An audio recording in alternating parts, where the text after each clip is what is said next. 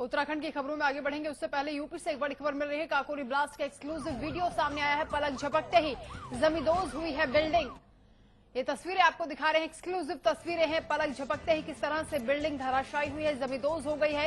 ये तस्वीरें आप देख पा रहे हैं। काकोरी ब्लास्ट की ये एक्सक्लूसिव तस्वीरें समाचार प्लस पर, आपकी टीवी स्क्रीन पर ये तस्वीरें दिखा रहे हैं। आपको किस तरीके से ब्लास्ट हुआ। काकोरी ब्लास्ट का एक्सक्लूसिव वीडियो सामने आया है। आप देख सकते हैं चंद सेकंड में ही पूरी तरीके से जमींदोज हो गई है बिल्डिंग। पलक झपकते ही ये धमाका हुआ है। काकोरी ब्लास्ट का एक्सक्लूसिव वीडियो आपको दिखा रहे हैं। तो किस तरीके से धमाका हुआ है और उसके बाद विकराल रूप जो आग ने धारण किया है और धुएँ के गुबार से पूरा आसमान नज़र आया है।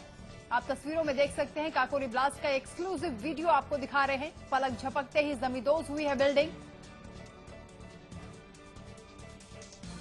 बेहद ही खौफनाक ये तस्वीरें दिखाई दे रही हैं। बेहद ही भयंकर तस्वीरें आर के पाल संवाददाता हमारे साथ जुड़ गए हैं। आर के पाल, जो तस्वीरें हम देख पा रहे हैं, बेहद ही भयंकर है। पलक झपकते ही जमींदोज हो गई है बिल्डिंग।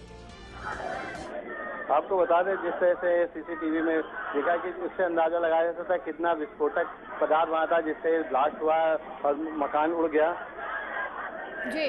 जिसके बाद जिससे अब तीन लोग मर भी गए थे जिसमें एक बेटी है उसके बाप की भी बाद में पुष्टि हो गई थी और पुलिस ने भी उसमें कार्रवाई करते हुए वहाँ के एसओ के और दो सिपाहियों को सस्पेंड भी कर दिया था। लेकिन अभी आला अधिकारी इस तरह की वहाँ पे और भी इस तरह से जो पटाखे बनाते हैं, उनका कारोबार आज भी मलियाबाद इलाके में चालू है, लेकिन शासन अभी ध्यान नहीं दे रहा है इन सब चीज़ जी, और के पास तस्वीरें जो बेहद ही भयावह सामने आई है, और ये पटाखे बनाने का काम यहाँ पर चल रहा था, क्यों ऐसे कामों पर कार्रवाई नहीं की जा रही है, ऐसी जगहों पर जहाँ इस तरह की वारदातें लगातार होती रहती हैं? आपको बता दें जिस तरह से कि आजकल शा, शा, शादी का चल माहौल चल रहा है जिसमें कि जो वहाँ के लोग हैं ग्रामीण क्षेत्र में रहे वहाँ देसी बमों का यूज़ बहुत किया जाता है जिससे वहाँ पे अभी भी ऐसे ऐसे लोग हैं जो भी पटाखे बना रहे हैं लेकिन पुलिस अभी भी नकेल लगाने पे उन्हें असमर्थ है। जी शुरुआती जाँच में आर के पाल क्या सामने आ रहा है अधिकारी क्या कह रहे हैं इस पूरे मामले को लेकर क्योंकि यहाँ पर न जाने कितने लोग इस तरह के कार्य में लिप्त हैं जो पटाखे बनाने की अवैध फैक्ट्री में काम करते हैं।